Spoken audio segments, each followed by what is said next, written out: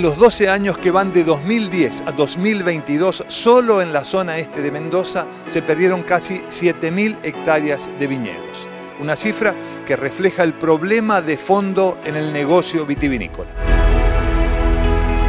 Se han dado varios factores, principalmente la baja rentabilidad que venimos teniendo de hace varios años, prácticamente del 2010, cuando empezó este proceso inflacionario a esta actividad que es de ciclos tan largos, la inflación les hace mucho, muy mal. Y después otro de los factores es el clima. Nosotros ya llevamos casi cuatro años con un clima muy, muy hostil, donde se ha visto mermada la, la producción y realmente hay mucha gente que ya no ha podido salir adelante. Esta imagen nos da una idea de la situación. Troncos arrancados de cuajo. Adiós viñedo.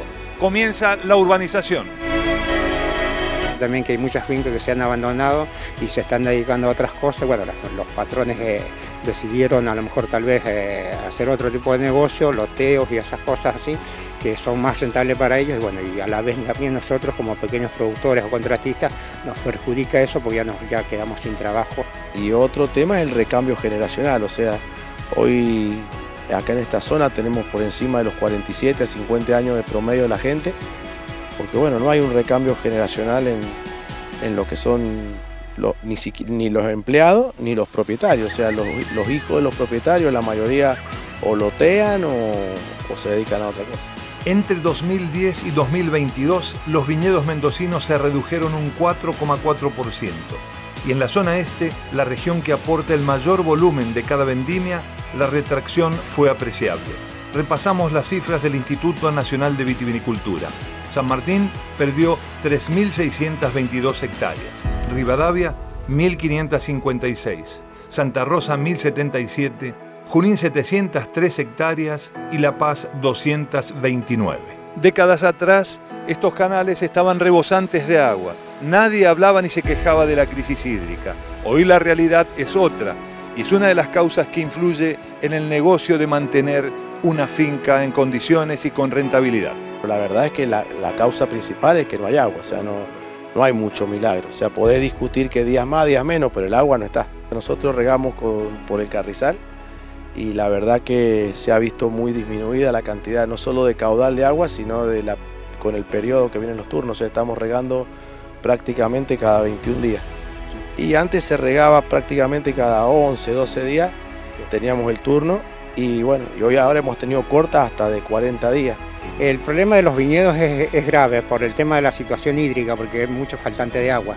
Y, la finca que no tenga pozo lamentablemente no puede mantener eh, una finca porque eh, se le está secando las viñas. Entonces, como nosotros recibimos el, agua del carril, del dique carrizal, y bueno, tenemos los turnos cada 15 o 20 días. Y después tenemos el corte anual que duran 2-3 meses. Entonces es muy difícil que los viñedos se mantengan en 100% de producción. Ricardo Tala trabaja en el campo desde niño. Integra la tercera generación de agricultores y contra viento y marea se aferra a mantener la tradición rural de la familia. Mis viejos, eh, los dos fueron productores de toda la vida.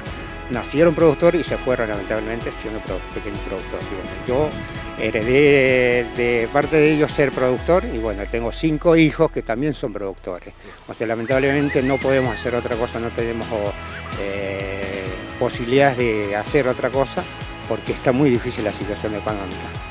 Como muchos otros pequeños productores, los Tala cargan con la eterna lucha de lograr precios acordes con el esfuerzo de cultivar.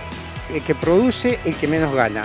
Y el que no trabaja, el que más gana, o sea, el intermediario. Porque nosotros sabemos, tanto usted como yo, sabemos que el consumidor final paga locuras por un producto y nosotros que lo producimos nos pagan miseria. A eso se agrega el anhelo de contar con ayuda oficial para mejorar la tecnificación agrícola. Créditos accesibles, no subsidios, para poder nosotros seguir produciendo, porque nosotros queremos producir, no queremos eh, erradicarnos de nuestros lugares, para poder mantener la producción, porque sabemos que la producción en la provincia es muy importante, para acceder a maquinarias y herramientas, porque también nosotros como pequeños productores no tenemos esa posibilidad de poder comprar herramientas y maquinarias que tienen un costo muy elevado.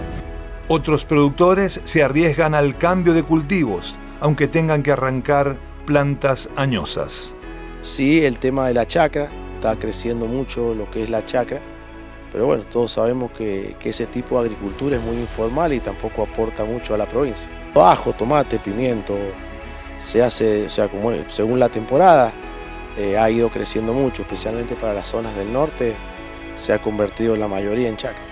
En este clima de fragilidad económica es difícil recuperar los viñedos perdidos, pero Ricardo Tala y Javier Palau saben que tienen que seguir adelante.